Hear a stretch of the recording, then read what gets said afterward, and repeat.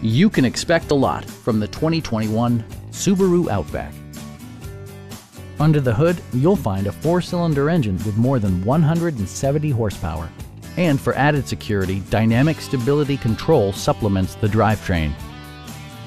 Top features include front bucket seats, a built-in garage door transmitter, fully automatic headlights, turn signal indicator mirrors, a roof rack, rear wipers, and a split folding rear seat.